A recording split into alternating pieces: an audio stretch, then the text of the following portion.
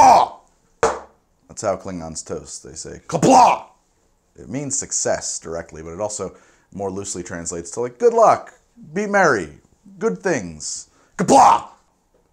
I think that's the only way to say it too. I don't think you can be like Qapla'.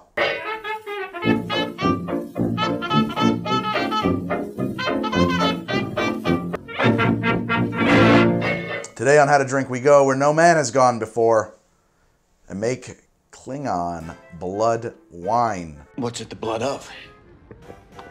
If I'm not mistaken, blood wine is for, and I am really going off of memory here, so I could be wrong on this. I think that blood wine is introduced in an episode of Star Trek The Next Generation. Lieutenant Worf has programmed our replicators to make a very good approximation of Klingon blood wine. I believe you will find it to your liking.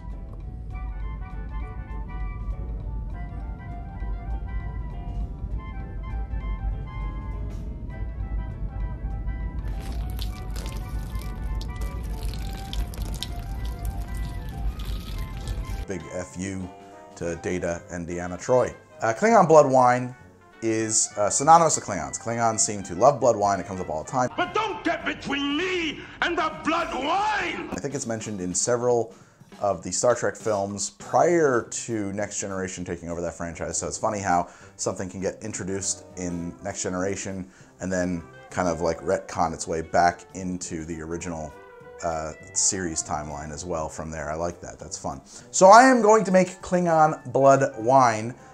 It seems to be very strongly implied in the series that blood wine is actually distilled or fermented, or fermented and distilled, or just fermented in space fermentation um, from blood. I think it's a targ, is this uh, porcine, spiky spike pig that the Klingons use in a lot of stuff, and it might be Targ's blood.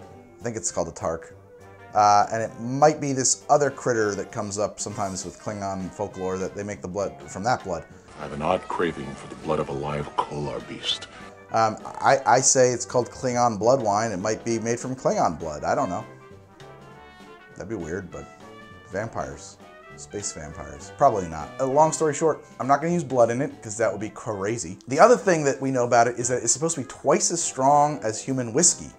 So it really can't be wine unless we mean wine in like a euphemistic sense or something, the way that like uh, Gaoliang Baijiu is called wine. It's not wine. So we're not going to make it out of wine either. This is my Klingon blood wine. It's neither blood nor wine. Discuss. Talk amongst yourselves. I just need a moment of your time to talk about wine from the planet Earth. I love wine, uh, but I don't know much about it, and shopping for wine is a real chore for me. I wander around, I'm a bit confused by everything I see on the shelf, and I generally just pick a cool looking label and go with that. You go to brightcellars.com though, little quiz, super duper easy, very, very fast to fill out, very not snobby. Then their experts figure out from that what kind of wines you're probably going to love. They pair you up with wines from the best producers in the world, and they ship them to you directly in the mail based on the schedule of your choosing. One of the things I love about the Bright Cellars experience too is after you get your shipment, you can review the wine and tell Bright Cellars what they got right or what they got wrong. They will further tailor your picks and selections to your taste. This second shipment that I got from them is really on the money. I am thoroughly enjoying this pet name Petite Sirah. And just from the description, I haven't had a chance to open the bottle yet. Mojave Rain Cabernet Sauvignon sounds exactly like something I'm going to like.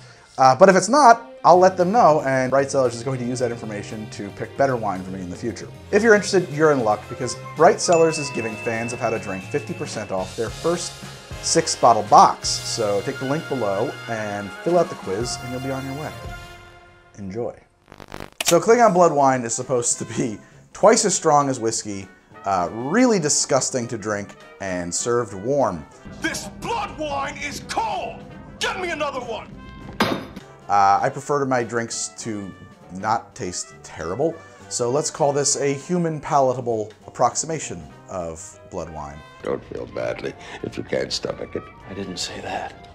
I think that will get us there. This would be uh, the blood wine that Guinan might serve to uh, Picard in 10 Forward uh, to prepare him for a detente with some local Klingon delegations. That sounds acceptable. I, I, that sounds right to me. And now, although blood wine is said to be harsh, we know that it can also be sweet since we know that Lieutenant Worf prefers his blood wine to be young and sweet.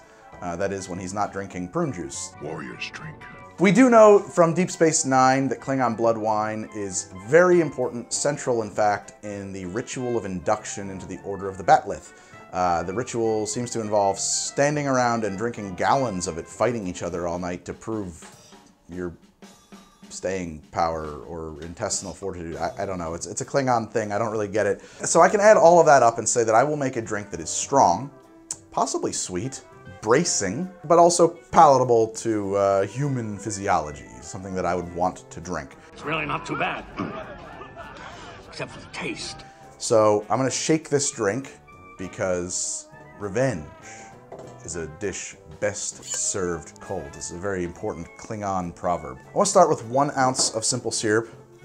So actually, this recipe that I came up with is uh, very simple. It's all equal parts. I want one ounce of lime juice for this.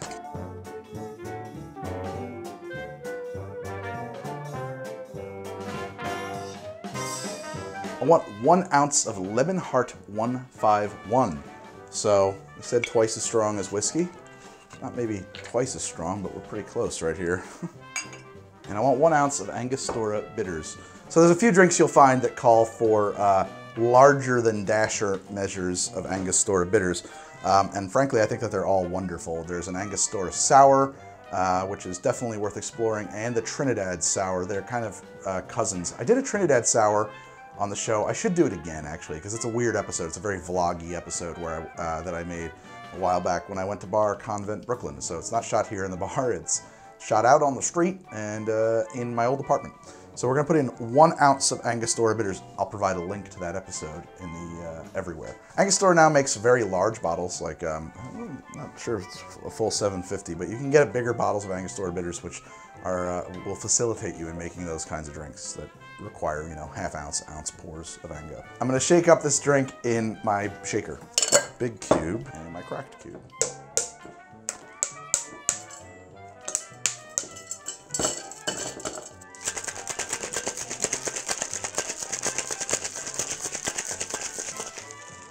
I brought out a couple of extra drinking vessels here because it would certainly be appropriate to drink it out of a skull or a horn, but then you wouldn't get to see the look of this drink. So, um, believe it or not, I'm gonna put it in this. I'm gonna double strain so that I can do this quickly.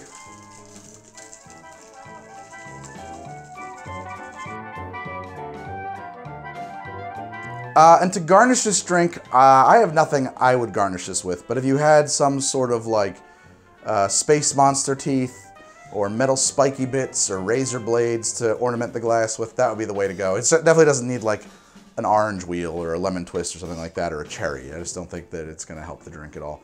Um, and I think that, that's pretty cool looking color. I think we've got a nice red hue there uh, that looks like old blood to me. So, rusty. Qapla'!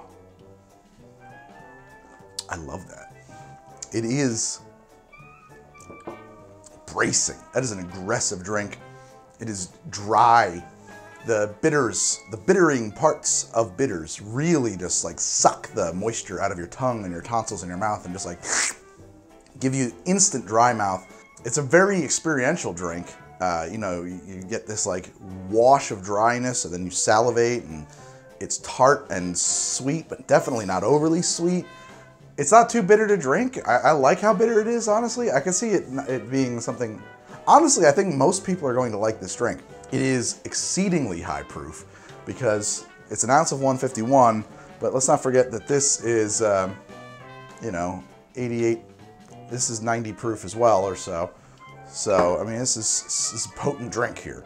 It is sweet and spicy up front. The first flavors you get are maybe like cinnamon and allspice and sugar. And then that gives way to just like this wash of bitterness that is very exper experiential, kind of assaults your mouth. And then that quickly subsides. Your mouth salivates. You get like very, um, a lot of, produce a lot of saliva as a result. And then you get more cinnamon, more of that allspice flavor. Uh, that gives way to, uh, all through tartness, by the way. There's the tartness of the lime is throughout all of this kind of uh, helping the flavors along, accentuating the flavors like the salt in cooking. And then that gives way to um, just sort of a very pleasant warmth This is a great. I love this drink. I'm very pleased with this drink. And frankly, I think I nailed it. I think I got this. My Twitter is how to drink. My Instagram is how to drink. My Patreon is patreon.com slash how to drink. I've got a Twitch at twitch.tv slash Greg from HTD. I, will, um, I hope you will check that out. Some good Star Trek video games. Maybe we'll, we'll take a look at those. We'll do some Star Trekky stuff over there. It'll be fun. If you like this show, I hope you will subscribe, drop me a comment, do all those things you're supposed to say in a YouTube video. Honestly, if you like this show, I hope you'll check out some of my other episodes. I made uh, Romulan Ale. I'm going to put a link up to that. I have made um, other things that you might like. I've done some, I did Blue Milk from Star Wars. I'm not conflating Star Wars and Star Trek. Uh, please don't be offended by that. Uh, I would never, ever do such a thing, but I feel like there's interests overlap. All right, so I'm gonna leave you with some Klingon proverbs.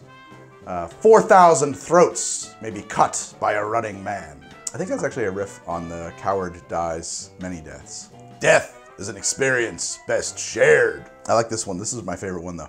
Pity the warrior who slays all of his foes. You know, because he's got no foes anymore. There's nothing to do. He's bored. Live long and prosper. Qapla'. Revenge the bish, or bish. I can't stop saying a bish. Revenge the bish.